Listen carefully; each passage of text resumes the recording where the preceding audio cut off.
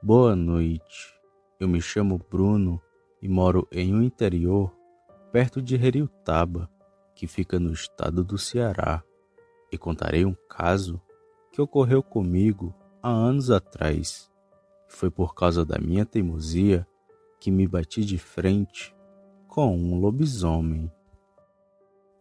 Tudo aconteceu em 2012.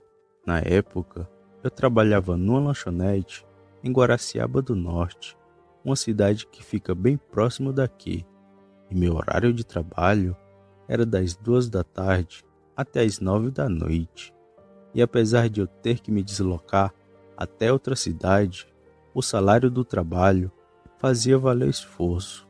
Além do mais, era carteira assinada e ainda tinha duas folgas na semana. E era assim meu dia a dia. Só que tudo mudou numa noite de carnaval.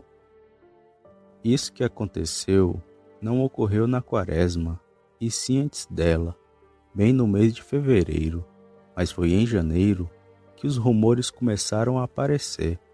O pessoal estava falando de um bicho que estava atacando o pessoal que andava pelas estradas de terra que tinham perto de minha casa. Era uma coisa que corria tão rápido que conseguia alcançar uma moto.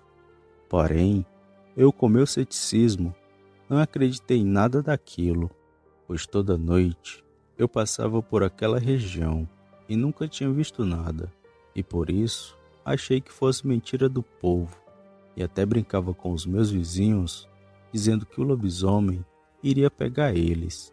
Só que quem viu ele foi eu. Como já disse, tudo ocorreu no carnaval e nessa época estava tendo muita festa lá por Guaraciaba. E o jovem e com dinheiro não deu outra, foi para tudo quanto era de festa, mas sempre consciente e lembrando sempre das minhas responsabilidades. E só ia para elas nos finais de semana. Porém, no meio da semana, depois que saí do trabalho, fiquei vendo a seresta que estava muito animada. E até me esqueci que tinha que ir para casa. E quando me dei conta da hora, já era por volta das uma da madrugada. Eu muito rápido peguei minha moto e segui para casa.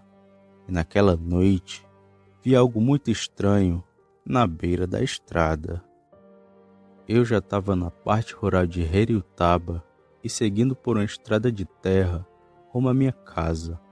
Foi quando vi de relance uma coisa que parecia uma pessoa abaixada na beira da estrada. Na hora em que vi aquilo, tomei um grande susto. Olhei para trás para ver melhor o que era e vi um animal peludo e grande que parecia estar tentando se levantar, mas que por algum motivo não conseguia. Eu acelerei a moto e saí dali bem rápido e comecei a pensar nos relatos dos moradores que tinham visto um lobisomem. Cheguei me tremendo todinho em casa, mas depois de tomar um banho e comer uma janta quentinha, eu fui me acalmando e o medo que eu tava daquilo foi passando. E eu mesmo em pensamentos tentava arrumar uma explicação para o que eu tinha visto. E depois de muito pensar, fiquei na tese de que aquilo era apenas um cachorro que havia se acidentado. Só que aquilo era algo bem pior que um simples cão.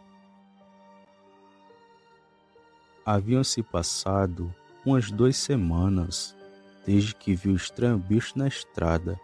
Já estava tudo bem comigo e nunca mais tinha visto nada pelo caminho que eu sempre pegava. Até que uma noite eu vi o lobisomem. Foi em uma quarta-feira que tudo aconteceu.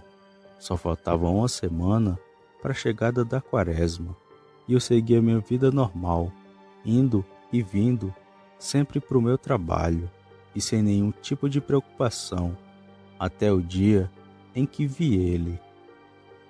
Era por volta de umas nove e meia da noite, quando eu seguia para minha casa pela estrada de terra e ia sozinho com minha moto. Foi quando comecei a ouvir diversos cachorros latindo e eu, com medo de passar por eles, parei minha moto e fiquei esperando eles saírem do caminho para eu poder passar. O problema era que aqueles cães estavam vindo em minha direção e junto deles veio o lobisomem. Depois que parei minha moto, eu subi numa árvore e fiquei ali por um tempo, só ouvindo os latidos. Só que quando eles estavam próximos de mim, eu escutei um roncado alto no meio dos latidos. Parecia um porco grunhindo por comida, só que mais alto e rouco. E lá de cima eu só observava a estranha movimentação. Foi quando vi uma coisa no meio da cachorrada e era algo muito feio e estranho, pois ele parecia um cachorro, só que bem grande e com pernas maiores que seus braços.